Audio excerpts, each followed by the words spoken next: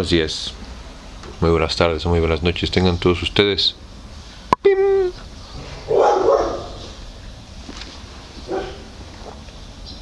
Amigos, amigas y todos los que están en medio, bienvenidos una vez más a este su círculo de lectura. Estamos aquí reunidos para seguir con el retrato de Dorian Gray. Nos quedamos a la mitad del capítulo 2. O bueno, sí, en una porción del capítulo 2. Y pues bueno. Perdón. Sin más por el momento. Ni preámbulos estúpidos que no te importan. Esto es el retrato de Dorian Gray. Oscar Wilde. Lord Henry, al entrar en el jardín, encontró a Dorian Gray con la faz hundida en un gran ramo de lilas, sorbiendo febrilmente el aroma como si fuese vino. Se acercó a él y le puso la mano sobre el hombro. Hace usted muy bien, murmuró. Nada puede curar mejor el alma que los sentidos, y nada puede curar mejor los sentidos que el alma. Entremecióse, estremecióse el joven y volvió. Tenía la cabeza al aire y las hojas habían revuelto sus rizos rebeldes, enredando las hebras doradas. En sus ojos fluctuaba el temor. Ese temor que se halla en las personas que se despiertan repentinamente. Las aletas de la nariz finamente dibujadas palpitaban y una turbación oculta avivó el carmín de sus labios trémulos.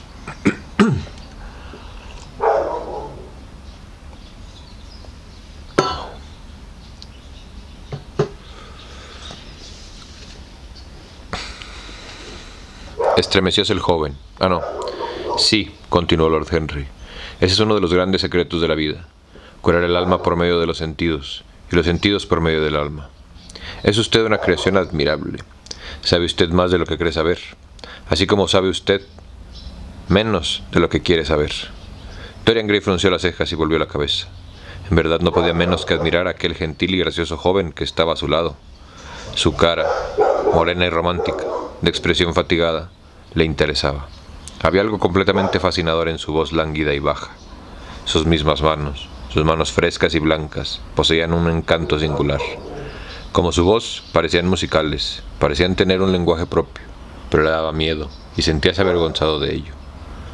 ¿Por qué era aquel extraño quien le revelaba a sí mismo? Desde hacía varios años, desde hace varios meses conocía a Basilio, Hallward, pero su amistad no le transformó, Repentinamente aparecía alguien en su vida que parecía descubrirle el misterio de la vida. Y sin embargo, ¿qué había en ello para espantarse así? Él no era ni un colegial ni una niña. Era absurdo tener miedo. Vamos a sentarnos a la sombra, dijo Lord Henry. Parker ha traído unas botellas, y si permanece usted más tiempo al sol, podría estropearse el cutis, y Basilio no quería nunca ya retratarle. No se ponga usted realmente a coger una instalación. No sería el momento oportuno. ¿Qué importa eso? exclamó Dorian Gray riendo al mismo tiempo que se sentaba al fondo del jardín. Para usted es lo más importante de todo, Mr. Gray. ¿Por qué? Porque posee usted la más maravillosa juventud, y la juventud es lo único que valga la pena. No me parece así, Lord Henry. No le parece por ahora. Algún día cuando usted esté envejecido, arrugado y feo, cuando el pensamiento le marchite la frente con sus garras, y la pasión y la pasión manche sus labios con sus horribles estigmas, lo sentirá usted terriblemente. Ahora, por donde quiera que va usted, encanta a todo el mundo. Será así siempre. Tiene usted una cara maravillosamente bella, Mr. Gray. No se enfade, la tiene usted. Y la belleza es una forma del genio más elevada en verdad. Que el genio no tiene necesidad de la explicación. Es uno de los absolutos del mundo, como el sol, la primavera o el reflejo en las aguas sombrías de esa concha de plata que llamamos luna. Eso no puede discutirse. Es una, soberanía, es una soberanía de derecho divino. Hace príncipes a los que la poseen. ¿Se sonríe usted? Ah, no se reirá cuando la haya perdido. La gente dice que a veces la belleza es solamente superficial. Puede ser, pero siquiera es tan superficial como el pensamiento. Para mí, la belleza es la maravilla de las maravillas. Únicamente la gente limitada no juzga por las apariencias. El verdadero misterio del mundo es visible, no el invisible. Sí, Mr. Gray, los dioses han sido buenos con usted. Pero lo que los dioses dan, lo quitan muy pronto. No tiene usted más que unos pocos años para vivir verdaderamente, perfectamente, plenamente. Cuando su juventud se desvanezca, su belleza se irá con ella, y descubrirá usted de pronto que ya no le quedan triunfos, o tendrá que contentarse con esos pequeños éxitos que el recuerdo del pasado hace aún más amargos que derrotas. Cada mes que huye, le llevará hacia algo terrible. El tiempo estará celoso de usted, y guerrea contra sus lirios y sus rosas. Palidecerá de usted, se hundirán sus mejillas y se apagarán sus ojos. Sufrirá usted horriblemente. Ah, dese cuenta de su juventud mientras la tiene. No derroche el oro de sus días escuchando a los decidiosos que intentan detener el desesperado fracaso, y defiende su vida del ignorante, del adocenado, del vulgar. Es el fin enfermizo, el falso ideal de nuestra época. Viva, viva la maravillosa vida que tiene en sí. No pierda nada de ella, busque siempre nuevas sensaciones, que no le asuste nada. nuevo hedonismo. Esto es lo que quiere nuestro siglo, porque usted ser el símbolo, puede ser usted el símbolo visible. No hay nada que no pueda efectuar con su personalidad. El mundo le pertenece por una temporada. Cuando le conocí a usted vi que no tenía conciencia de lo que era usted realmente, o lo que realmente podía ser. Había tanto encanto en usted que sentí que debía decirle algo de usted mismo. Tuve el trágico temor de ver que se malgastaba, porque su juventud tiene tan poco tiempo de vida. Tampoco. Las flores vulgares de los campos se secan, pero reflorecen. Este cistizo estará florido en el próximo mes de junio como ahora dentro de un mes. Esa clemátide tendrá flores purpúreas, y de año en año, la verde noche de sus hojas mantendrá sus estrellas de púrpura. Pero, nosotros no reviviremos, jamás nuestra juventud. El pulso de la alegría que palpita en nosotros a los veinte años va debilitándose. Nuestros miembros se fatigan, se embotan nuestros sentidos. Todos nos convertimos en horrorosos polinchelas, alucinados por el recuerdo de las pasiones que nos atemorizaron y de las exquisitas tentaciones que no tuvimos el valor de ceder, a las que no tuvimos el valor de ceder. Juventud, juventud, no hay absolutamente nada en el mundo sino la juventud. La neta, Holmes.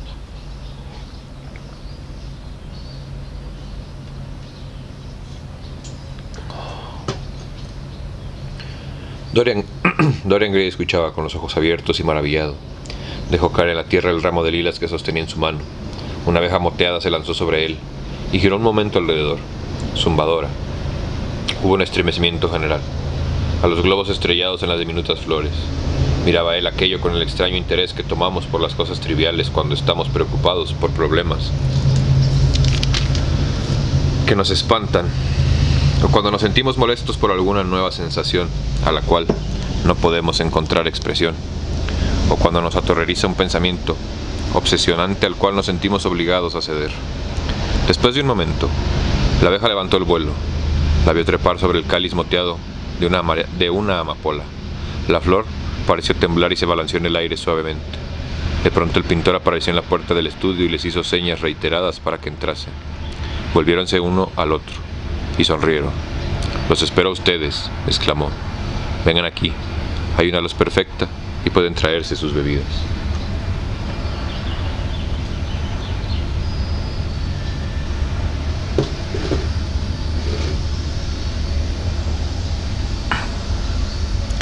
Se levantaron y perezosamente marcharon a lo largo del sendero. Dos mariposas verdes y blancas revoloteaban ante ellos, y sobre un peral situado en un rincón del jardín, un tordo empezó a cantar. ¿Le agrada usted haberme conocido, Mr. Gray? dijo Lord Henry mirándole. Sí, me agrada ahora. Me pregunto si me agradará siempre. Siempre es una palabra terrible. Me hace estremecer cuando la oigo. Las mujeres son muy aficionadas a usarlas. Estropean toda novela, queriendo hacerla eterna es una palabra sin ningún significado. La única diferencia que hay entre un capricho y una pasión eterna es que el capricho dura un poco más que el tiempo. Al entrar en el estudio, Dorian Gray colocó su mano sobre el brazo de Lord Henry. En este caso, que nuestra amistad sea un capricho, murmuró, regociéndose de su propia astucia, audacia. Luego subió a la plataforma y volvió a colocarse en su postura. Lord Henry, tumbado sobre un ancho diván de mimbre, lo observaba. El vaiván del pincel sobre la tela era el único ruido que rompía el silencio, excepto cuando de tiempo en tiempo Hallward retrocedía para mirar su obra a la distancia. En los rayos oblicuos que entraban por la puerta, entre en los rayos oblicuos que entraban por la puerta entreabierta, danzaba un polvo dorado. El fuerte olor de las rosas parecía gravitar sobre todo. Al cabo de un cuarto de hora, Hallward dejó de pintar, mirando durante mucho tiempo a Dorian Gray y al retrato, mordisqueando la punta de uno de sus gruesos pinceles y frunciendo las cejas. Terminado por completo, exclamó, e inclinándose escribió su nombre en largas letras de vermellón en la esquina izquierda del lienzo. Lord Henry fue a mirar el cuadro. Era realmente una obra de arte maravillosa, de un parecido maravilloso también. Mi querido amigo, permítame que le felicite calurosamente, dijo. Es el más bello retrato de los tiempos modernos. Mr. Gray, venga usted a contemplarse. El adolescente se estremeció, de como, se estremeció como si le hubiesen despertado de un sueño. ¿Está terminado de verdad? murmuró bajando de la plataforma. Terminado por completo, dijo el pintor. Y hoy ha posado usted espléndidamente. Le estoy agradecido hasta más no poder. Eso se debe a mí por completo, interrumpió Lord Henry. ¿No es así, Mr. Gray? Dorian no contestó. Llegó distraídamente hasta su retrato y se volvió hacia él. Al verlo retrocedió y sus mejillas enrojecieron de placer por un momento. El relámpago de alegría pasó por sus ojos, porque se reconoció por primera vez. Permaneció algún tiempo inmóvil, maravillado, dándose cuenta oscuramente de que Hallward le hablaba, pero sin comprender el significado de sus palabras. El sentido de su propia belleza surgió en su interior como una revelación. Hasta entonces nunca se había dado cuenta de ello. Los elogios de Basilio Hallward le parecieron simplemente agradables, exageraciones de amistad. Habíalos oído riéndose y olvidado enseguida. No influyeron en su carácter. Luego había llegado Lord Henry Wotton, con su extraño panérico de la juventud, y el terrible abliso de su brevedad. Aquello le conmovió. Y ahora, frente a la sombra de su propia belleza, sentía que la plena realidad se apoderaba de él en un relámpago. Sí, llegaría un día en que su, en que su faz se arrugaría, se encogería, sus ojos se hundirían descoloridos y la gracia de su rostro se rompería, deformándose. El escarlata de sus labios se iría, del mismo modo que el oro de su pelo. La vida, que debía formar su alma, arruinaría su cuerpo, tornaríase horrible, deforme, vasto.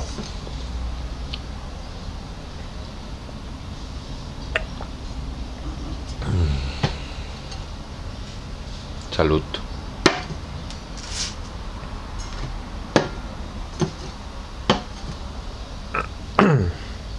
Pensando en esto, una sensación aguda de dolor le atravesó como un cuchillo, estremeciendo por una de las delicadas fibras de su ser. El tono amatista de sus ojos se oscureció, y una tenue neblina los empañó.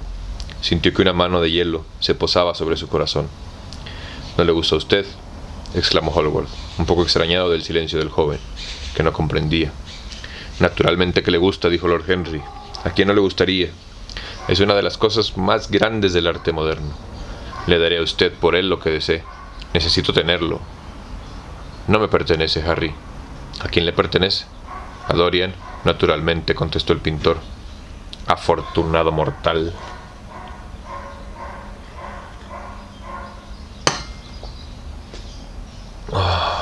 Qué triste es, murmuraba Dorian con los ojos fijos todavía en su retrato. Qué triste. Me volveré viejo, horrible, espantoso.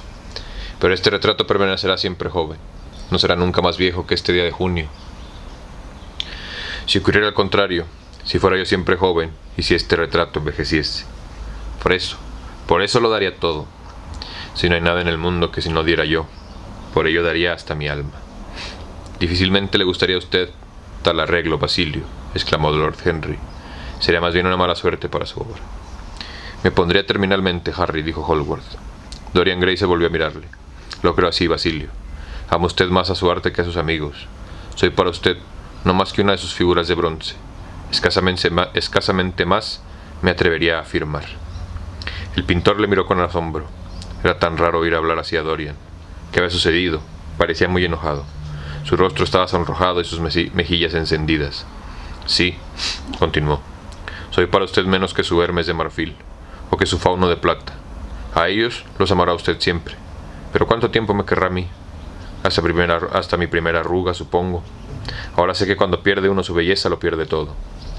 Su obra, de usted me lo ha enseñado. Lord Henry. Lord Henry Wotton tiene completa razón. La juventud es lo único que vale. Cuando note que envejezco me mataré. Howard palideció y le cogió la mano. Dorian, Dorian, exclamó. No hable usted así. Nunca he tenido un amigo como usted. ni lo volveré a tener nunca. No va a sentirse celoso de las cosas materiales, ¿verdad? Es usted superior a cualquiera de ellas. Maldita inseguridad. Siento celos de todo aquello cuya belleza no muere. Tengo celos de mi retrato pintado por usted.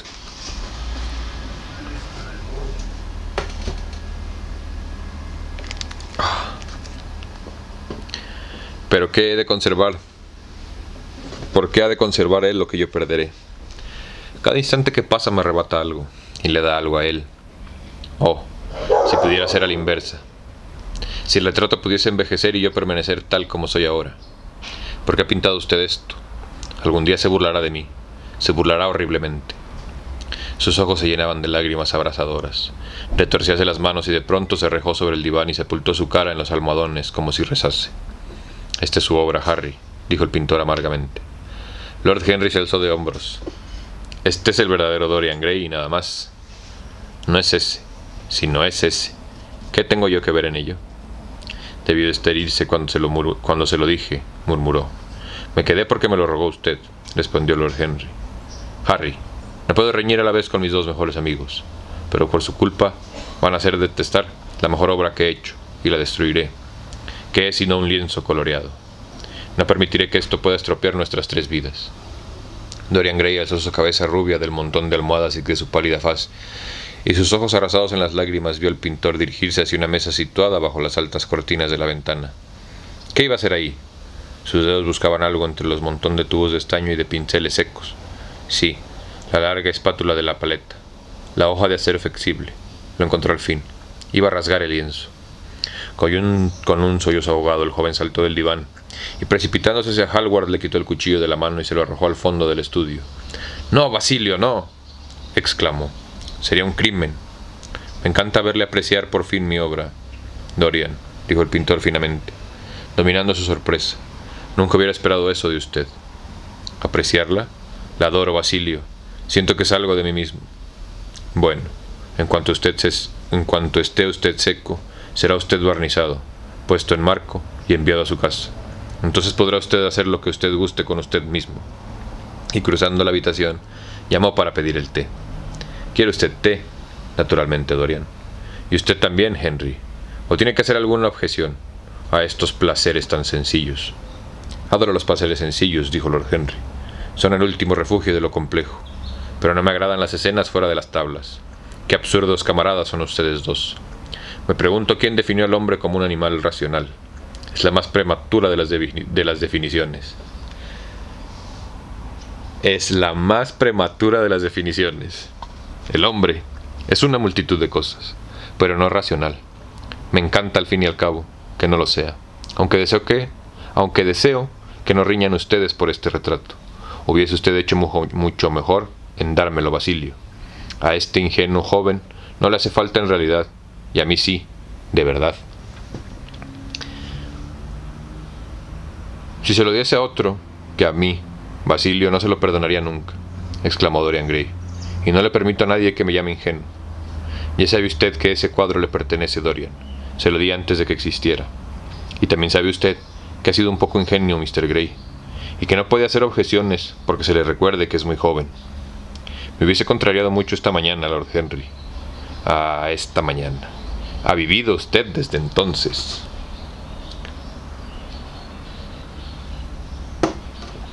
Llamaron a la puerta y entró el mayordomo llevando un servicio de té, que colocó sobre una mesita japonesa. Hubo un ruido de tazas y de platillos, y el glu glu de una tetera acanalada de Georgia.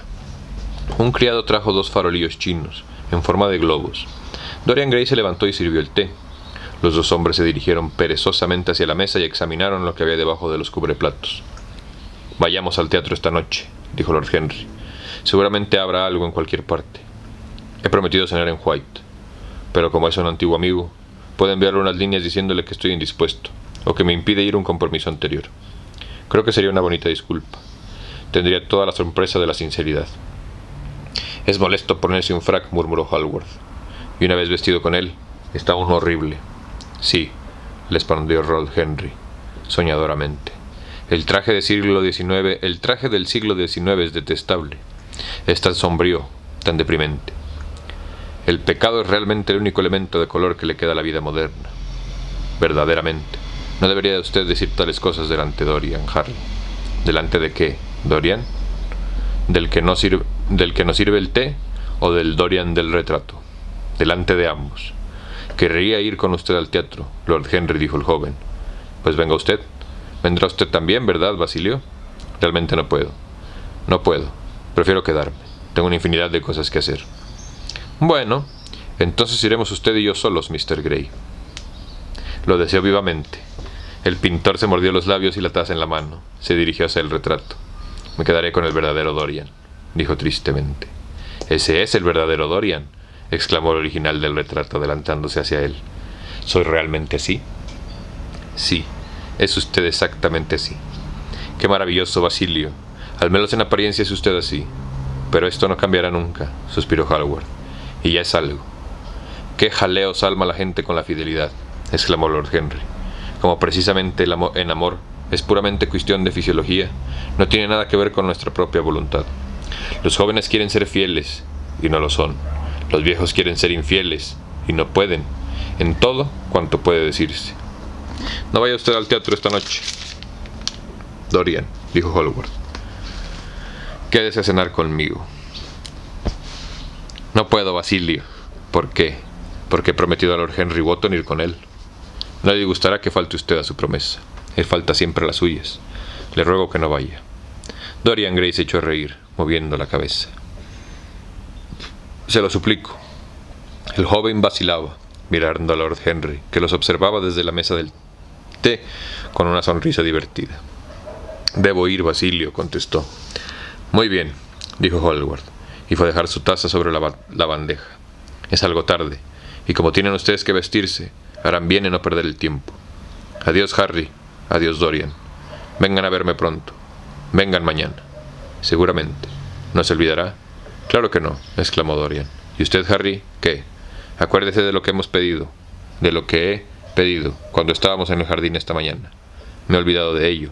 Cuento con usted. Me gustaría poder contar conmigo mismo, dijo Lord Henry riendo. Vamos, Mr. Gray. Abajo está mi coche. Le dejaré a usted en su casa. Adiós, Basilio. Ha sido una tarde muy interesante. En cuanto se cerró la puerta tras ellos, el pintón se desplomó sobre el sofá y una expresión de dolor apareció en su rostro.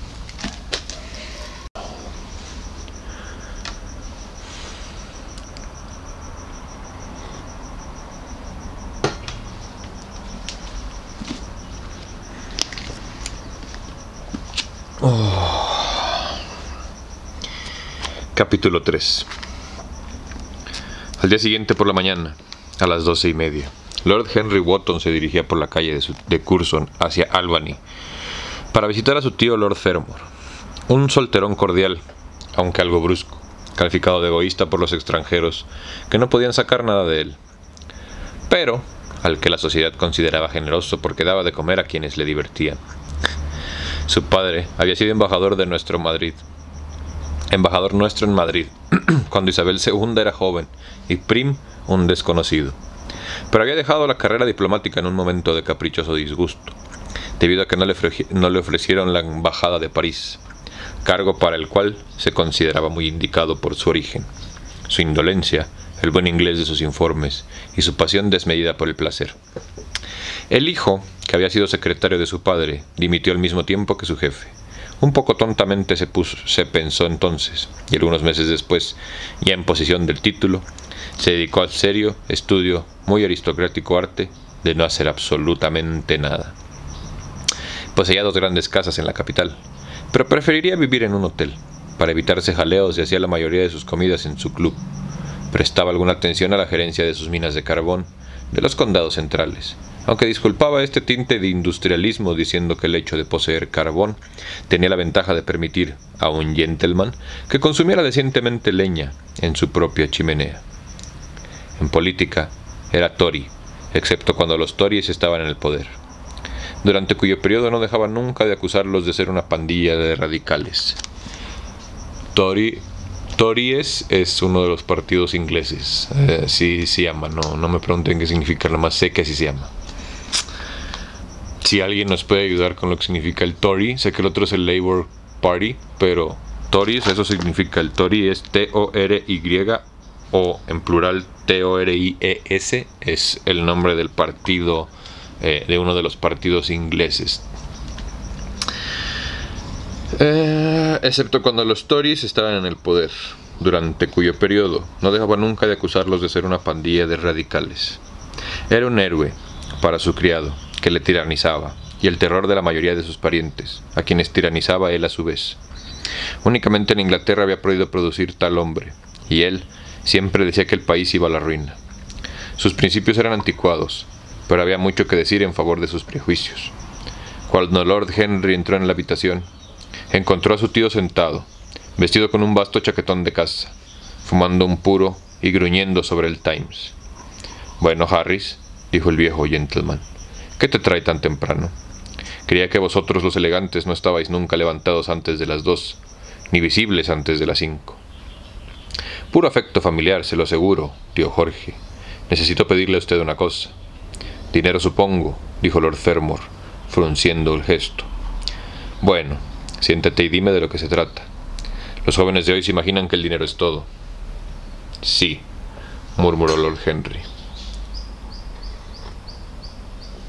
abrochándose su gabán y cuando se hacen viejos lo comprueban. Pero no necesito dinero. Únicamente los que pagan sus deudas lo necesitan, tío Jorge, y yo nunca pago las mías. El crédito es el capital de un joven, y se vive de él encantadoramente. Por otro lado, me dirijo siempre a los proveedores de Dartmoor, y por consiguiente no me molestan nunca.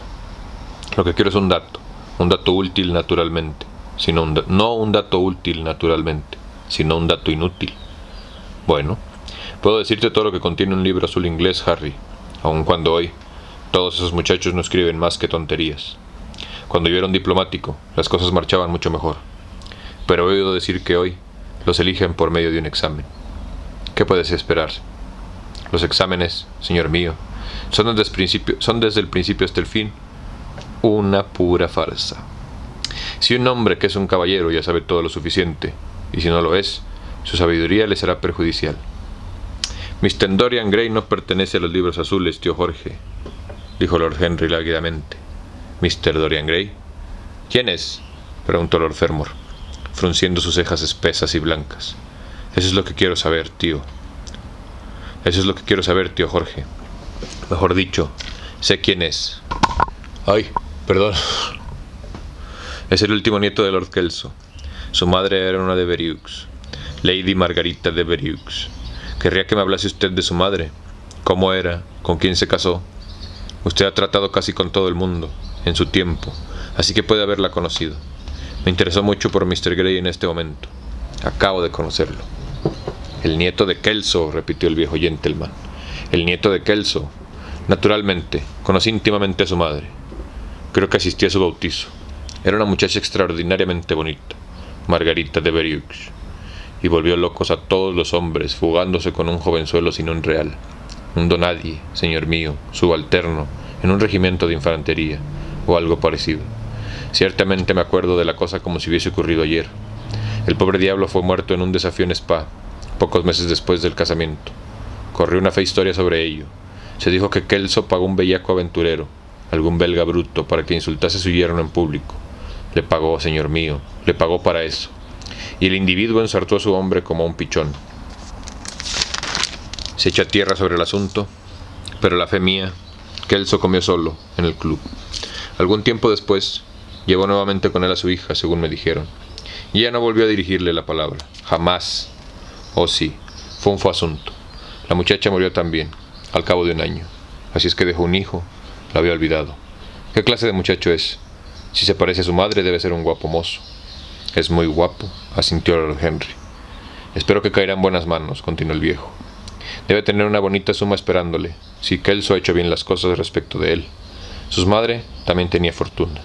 Todas las propiedades de Selby fueron a poder suyo, por su abuelo. Esto odiaba a Kelso, creyéndole un mezquino tacaño, y él lo era demasiado. Estuvo en Madrid una vez cuando yo residí ahí. A fe mía, me avergonzó. La reina solía preguntarme quién era aquel noble inglés que disputaba siempre con los cocheros por su tarifa. Fue toda una historia.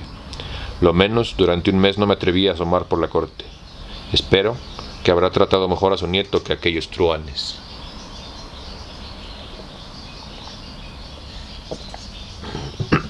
No lo sé, respondió Lord Henry. Me imagino que el joven estará muy bien. No es mayor de edad. Sé que es suyo Shelby. Me lo ha dicho. ¿Y su madre? Era muy bella. Margarita de Beriux una de las criaturas más adorables que he visto, Harry. No he llegado a comprender nunca qué demonios le indujeron a portarse así. Pudo casarse con quien hubiese elegido. Carlington estaba loco por ella, aunque era romántica. Todas las mujeres de esa familia lo fueron. Los hombres eran insignificantes, pero a fe mía, las mujeres maravillosas. Carlington se arrastraba a sus plantas, me lo dijo él mismo, se rió de él. Sin embargo, no habría una muchacha en Londres que no lo persiguiese. Y a propósito, Harry, hablando de matrimonios ridículos, ¿cuál es esa patraña que me ha contado tu padre acerca de Dartmoor, que quiere casarse con una americana? No hay muchas inglesas bastante buenas para él.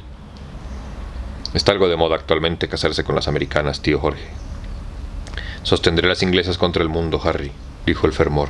Dijo Lord Fermor pegando un puñetazo sobre la mesa.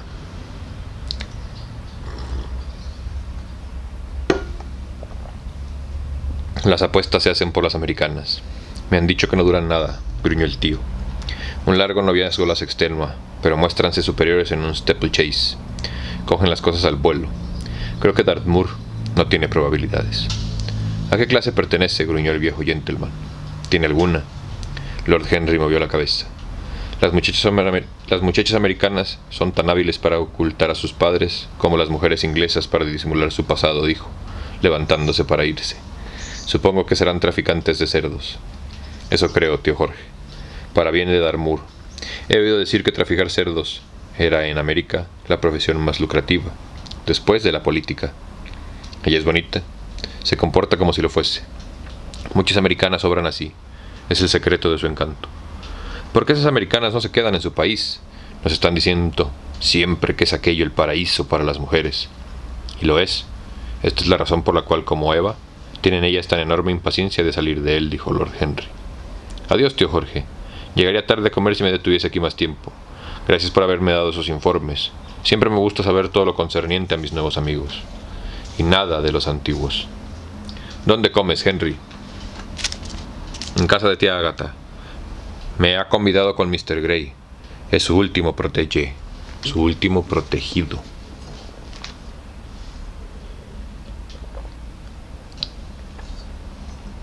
Oh. Hmm. Dile a tu tía Agatha, Henry, que no me abrume con sus obras de caridad. Estoy harto de ellas, caray. Se cree la buena señora que no tengo nada que hacer sino firmar cheques para sus, sus necias chifladuras. Muy bien, tío Jorge, se lo diré. Pero no le hará ningún efecto. Los filántropos no han perdido toda. Han perdido, los filántropos han perdido toda noción de humanidad. Los filántropos han perdido toda noción de humanidad. Otra vez, los filántropos han perdido toda noción de humanidad. Es su más notable característica. El viejo gentleman gruñó probatoriamente y llamó a su criado. Lord Henry siguió por el arco, menor de la calle Burlington, en dirección hacia la plaza Berkeley. Tal era la historia de los padres de Dorian Gray, contada así con crudeza. Le conmovió profundamente por su sugestión de novela extraña y casi moderna. Una bella mujer arriesgándolo todo por una loca pasión. Unas cuantas semanas de dicha solitaria, destrozada de pronto por un crimen horroroso y pérfido. Meses de agonía silenciosa. Y después, un niño nacido entre penas. La madre arrebatada por la muerte y el niño abandonado a la soledad y a la tiranía de un viejo hurón. Sí, era un fondo interesante. Encuadraba al joven haciéndole más perfecto de lo que era. Detrás de todo lo exquisito hay algo trágico. La tierra trabajaba para dar nacimiento a la más humilde flor. Qué encantador había estado durante la comida de la noche anterior, cuando con sus hermosos ojos y sus labios palpitantes de placer y de temor habíase sentado frente a él en el club, mientras las pantallas tenían, teñían con un rosa más vivo la maravilla naciente de su rostro Hablarle era como ejecutar un violín exquisito. Respondía a cada pulsación y estremecimiento del arco. Había algo terriblemente seductor en la acción de aquella influencia.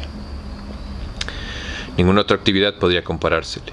Proyectar su alma en una forma gracil, dejarla descansar por un instante y escuchar a continuación sus ideas repetidas como por el eco. añadiéndoles toda la música de la pasión y de la juventud. Transportar su temperamento a otro como un fluido sutil o un extraño perfume. Era ello un verdadero goce, quizá era el más satisfactorio de nuestros goces. En una época tan limitada y tan vulgar como la nuestra, en una época generosamente carnal en sus placeres y común y baja en sus aspiraciones. Era un maravilloso tipo de humanidad aquel adolescente con el que se había encontrado por una casualidad tan curiosa en el estudio de Basilio.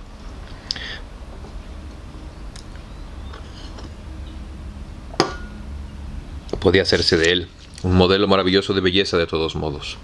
Encarnaba la gracia y la blanca pureza de la adolescencia, y la belleza, tal como las han conservado los mármoles, griegos, antiguos. Nada había que no se pudiese sacar de él. Lo mismo podía ser un titán que un juguete. Lástima que una belleza tal estuviese destinada a marchitarse. Y Basilio, qué interesante era desde el punto de vista psicológico. La nueva tendencia del arte, el método inédito de mirar la vida, sugerido tan extrañamente por la simple visible presencia de un ser inconsciente de todo aquello, el espíritu silencioso que habita en el fondo de los bosques y corre por los claros postrándose de repente, como dríade sin miedo, porque en el alma, el que busca, porque en el, alma que le buscaba había sido evocada la maravillosa visión por la cual se revelan únicamente las cosas maravillosas, las simples formas y modelos de las, de las cosas tornándose como si fuera posible, refinadas y adquiriendo una especie de valor simbólico, aunque ellas fuesen modelos de alguna forma, de alguna otra y más perfecta forma, cuya sombra hacían real. Qué extraño era todo aquello. Recordaba algo semejante en la historia. No era Platón, aquel artista del pensamiento, el primero que analizó aquello. No era Buonarroti, el que lo cinceló en el mármol coloreado de una serie de sonetos, pero en nuestro siglo, aquello era extraño. Sí. Él intentaría ser para Dorian Gray lo que sin darse cuenta era el adolescente para el pintor que había hecho aquel maravilloso retrato. Intentaría dominarle. Ya lo había logrado casi. En realidad, haría suyo aquel espíritu maravilloso. Había algo fascinante en aquel hijo de amor y de la muerte. De pronto se detuvo, miró a las fachadas, vio que había pasado la casa de su tía, y sonriendo de sí mismo volvió atrás. Al entrar al vestíbulo algo oscuro, el mayordomo le dijo que su tía estaba a la mesa. Entregó su sombrero y su bastón al criado, y pasó al comedor. Tarde, como de costumbre, Harry, exclamó su tía moviendo la cabeza.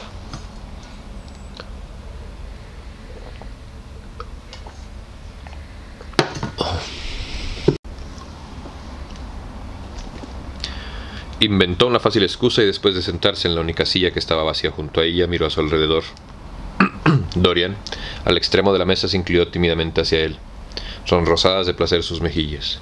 Enfrente tenía la duquesa de Harley, una dama de magnífico carácter y de magnífico temperamento, querida por todos los que la conocían, y que tenía esas amplias y arquitectónicas proporciones que los historiadores contemporáneos llaman obesidad, cuando no se trata de una duquesa.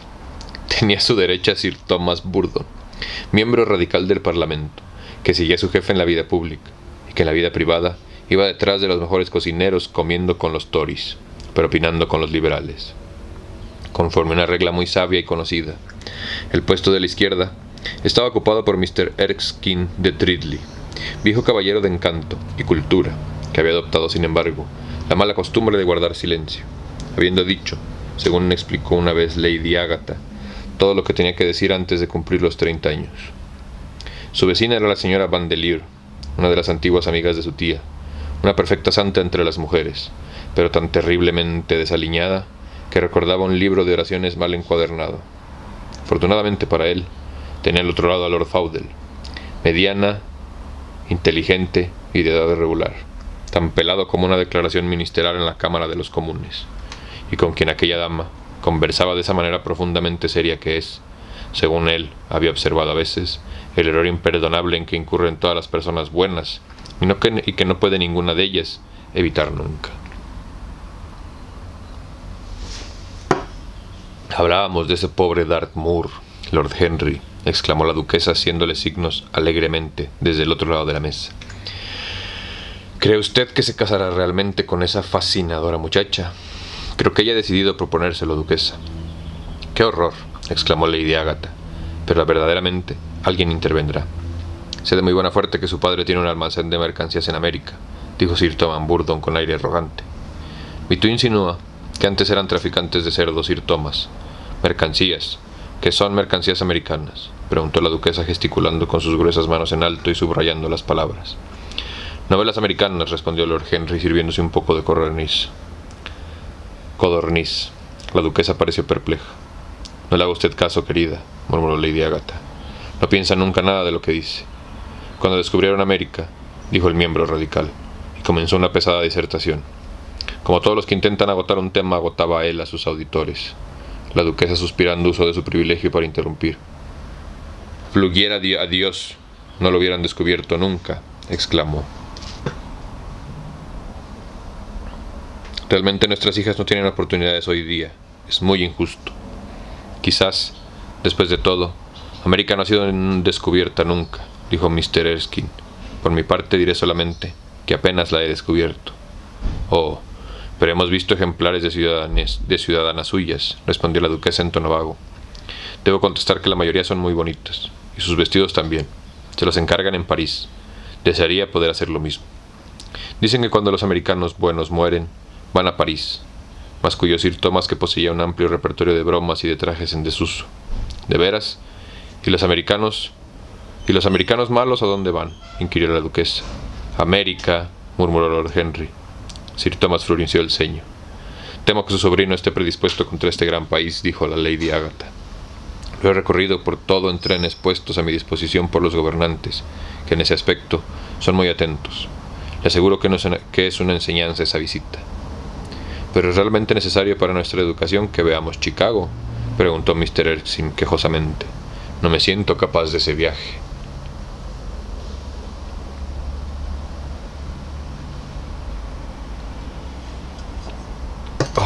Sir Thomas levantó la mano. Mr. Erskine de Treadley prescinde del mundo. A nosotros los hombres prácticos nos gusta ver las cosas por nuestros propios ojos, en vez de leer lo que se dice de ellas. Los americanos son gentes muy, muy interesantes, completamente razonables. Creo que esa es su más notable característica. Sí, Mr. Erskine, gentes absolutamente razonables. Le aseguro que no hay disparates entre los americanos. ¡Ay! ¡Qué horror! exclamó Lord Henry. Puedo soportar la fuerza bruta, pero la razón bruta es insoportable. Hay algo injusto en su empleo. Ofende a la inteligencia. No le comprendo a usted, dijo Sir Thomas enrojeciendo. Yo sí, Lord Henry, murmuró Mr. Erskine con una sonrisa. Las paradojas están bien a su modo, replicó el baronet. ¿Era una paradoja? preguntó Mr. Erskine. No lo creo así. Tal vez lo fuese. Bueno, el camino de las paradojas es el de la verdad. Para probar la verdad, hay que verla sobre la cuerda floja. Cuando las verdades se vuelven acróbatas, podemos juzgarlas. Dios mío, dijo Lady Agatha, ¿cómo argumentan ustedes los hombres? Estoy segura de que no podré entenderlos nunca. Oh, Harry, estoy muy enfadada contigo. ¿Por qué no procuras convencer a nuestro gentil Mr. Dorian Gray para que no abandone el East End? Te aseguro que es inapreciable. Causará mucho su ejecución. Gustará gustaría mucho su ejecución. Quiero que toque el piano para mí solo, exclamó Lord Henry sonriendo, y al mirar hacia el extremo de la mesa sorprendió una mirada brillante que le respondía. Pero no son tan desgraciados en Whitechapel, prosiguió Lady Agatha. Puedo simpatizar con todos, excepto con el sufrimiento, dijo Lord Henry, alzándose de hombros. Con esto no puedo simpatizar. Es demasiado feo, demasiado horrible demasiado aflictivo. Hay algo terriblemente morboso en la simpatía moderna por el dolor. Puede uno simpatizar con el dolor, con la belleza, con la alegría de la vida. Cuanto menos se hable de las llagas de la vida, mejor. Sin embargo, el Isten representa un problema importantísimo, apuntó sin Thomas con un gran movimiento de cabeza, con un grave movimiento de cabeza. Verdaderamente, respondió el joven lord, el problema, es el problema de la esclavitud e intentamos resolverlo divirtiendo a los esclavos. El político le, miró penetrantemente. ¿Qué modificaciones propone entonces? preguntó. Lord Henry se echó a reír. No deseo nada cambiar en Inglaterra, excepto el tiempo, respondió. Estoy completamente satisfecho con la meditación filosófica, pero como el siglo XIX camina hacia la bancarrota con su exagerado derroche de simpatía, Quiero sugerir un llamamiento a la ciencia, para que nos vuelva al buen camino. La ventaja de las emociones consiste en extraviarnos, y la ventaja de la ciencia en no conmovernos. Pero tenemos graves responsabilidades, aventuró tímidamente la señora Vandeleur. Terriblemente graves, repitió Lady Agatha. Lord Henry miró a Mr. Erkin. La humanidad se torna a sí misma demasiado en serio. La humanidad se toma a sí misma demasiado en serio. Ese es el pecado original del mundo. Si el hombre de las cavernas hubiera sabido reír, la historia habría sido muy diferente. Consuela usted mucho realmente, murmuró la duquesa. Me sentía siempre un poco el culpable cuando venía a ver a su querida tía, porque no me interesa nada del East Ahora seré capaz de mirar a la cara sin ruborizarme. Ruborizarse es distinguidísimo, duquesa, observó Lord Henry. Únicamente cuando una es joven, respondió ella, pero cuando una es vieja como yo, ruboriza. Cuando una es vieja como yo, se ruboriza es muy mala señal. Ah, Lord Henry, desearía que me enseñase usted a rejuvenecerme. Él reflexionó un momento. ¿Puede usted recordar algún gran error que haya usted cometido en sus primeros días, duquesa? Preguntó mirándola por encima de la mesa. Me temo que un gran número, exclamó ella. Pues cométalos de nuevo, dijo él gravemente. Para volver a ser joven no tiene uno más que repetir sus locuras. Es una deliciosa teoría, exclamó ella. Tengo que ponerla en práctica. Peligrosa teoría, declaró Sir Thomas entre dientes. Lady Agatha movió la cabeza, pero no pudo por menos de sonreír. Mr. Erskine escuchaba. Sí, continuó. Esto es uno de los más grandes secretos de la vida. Hoy en día la mayoría de la gente se muere de una especie de rastrero sentido común, descubriendo, cuando ya es demasiado tarde, que lo único que nunca deplora son sus propios errores. Corrió la risa alrededor de la mesa. Jugaba con la idea y desarrollaba tenazmente. Jugaba con la idea y la desarrollaba tenazmente. La lanzaba al aire y la transformaba la dejaba escapar para volver a captarla. La irrizaba con su fantasía poniéndole alas de paradojas. El elogio de la locura se remontaba hasta una filosofía, y esta misma filosofía se rejuvenecía, sirviéndose de la música loca de placer, utilizando, pudiera uno imaginar, su túnica manchada de vino, enguirnaldada de hiedra danzando como una vacante sobre las colinas de la vida, y mofándose del pasado sileno por su sobriedad. Los hechos huían ante ella como seres atomorizados de la selva. Sus blancos pies hollaban el inmenso lugar donde el sabio, Omar, está sentado.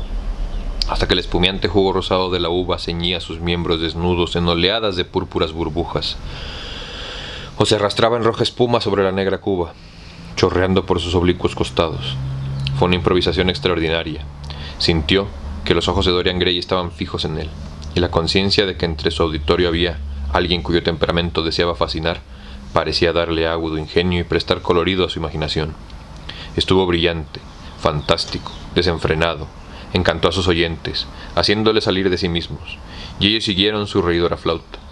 Dorian Gray no dejó nunca de mirarle, y permaneció como un bajo, como bajo un hechizo, sucediéndose la sonrisa sobre sus labios y haciéndose más grave la sorpresa en sus sombríos ojos. Finalmente, la realidad con, librea moderna entró en el comedor en figura del criado y anunció a la duquesa que su coche la esperaba. Retorcióse ella las manos con desesperación cómica. ¡Qué fastidio! exclamó. Debo irme. Tengo que recoger a mi marido en el club para ir con él a un mitin absurdo, que debe presidir en el salón Willis. Si llego con retraso se pondrá furioso seguramente, y no puedo tener una escena con este gorro. Es demasiado frágil. Una palabra agria lo destrozaría. No, ten, no, tengo que irme, querida Agatha. Adiós, Lord Henry. Es usted verdaderamente delicioso y terriblemente desmoralizador. No sé realmente qué decir de sus ideas.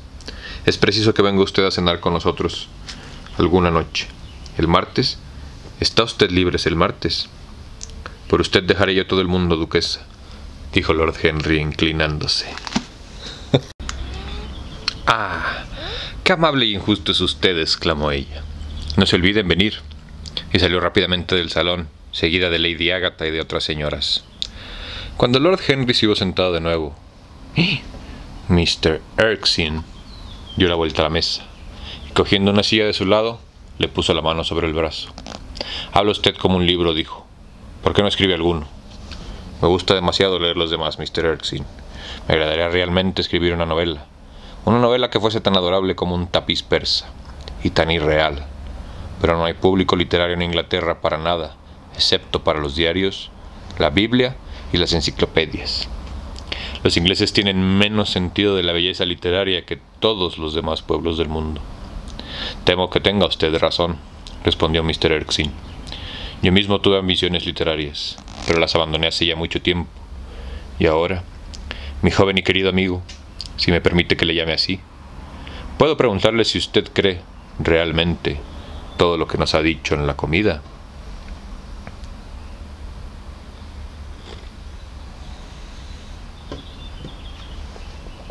He olvidado en absoluto lo que dije, explicó Lord Henry sonriendo. Estuve muy mal. Muy mal, efectivamente. En realidad le considero a usted en extremo peligroso. Y si le sucediese algo a nuestra buena duquesa, le miraríamos a usted como principal responsable. Pero me agradaría hablar de la vida con usted. La generación a que pertenezco es aburrida. Algún día, cuando se sienta usted cansado de Londres, véngase a Treadley y me expondrá su filosofía de placer ante una admirable Borgoña que tengo la suerte de poseer. Encantado. una visita a Treadley es un gran honor. El anfitrión es perfecto y la biblioteca perfecta también. Completará usted el conjunto, respondió el viejo gentleman con una cortés inclinación. Y ahora tengo que despedirme de su excelente tía. Debo ir al Anteum. Es la hora en que dormimos ahí. Todos ustedes, Mr. Erkin, cuarenta de nosotros en cuarenta sillones. Trabajamos en una academia literaria inglesa. Lord Henry se echó a reír y se levantó. Me voy al parque, exclamó. Cuando estaba en la puerta, Dorian Gray le tocó en el brazo. Déjeme usted que le acompañe, murmuró. Pero creí que había usted prometido a Basilio Harward ir a verle, contestó Lord Henry. Prefiero ir con usted, si siento que es necesario que le acompañe. Déjeme y prométame estar hablando todo el tiempo. Nadie habla tan maravillosamente como usted. Ah, he hablado bastante hoy, he hablado bastante por hoy, dijo Lord Henry sonriendo. Lo que deseo ahora es contemplar la vida. La contemplaremos juntos si usted quiere. Y yo creo que por aquí vamos a dejar la lectura de hoy. Mañana para continuar con el capítulo 4. Y así irnos llevando uno, uno y medio, dependiendo de qué tan largos estén. También ya vieron que este formato medio bíblico, ¿no? Pues está medio raro para los libros. Pero está interesante y hay que tener cuidado porque podemos ser medio burros y romper los libros, ¿no? Chingado, no somos nada. Pero bueno, la verdad estoy disfrutando mucho esta lectura. Eh, no tengo nada más que decir por el momento. Muchas gracias por venir. Yo soy Barbitas y nos vemos a la próxima.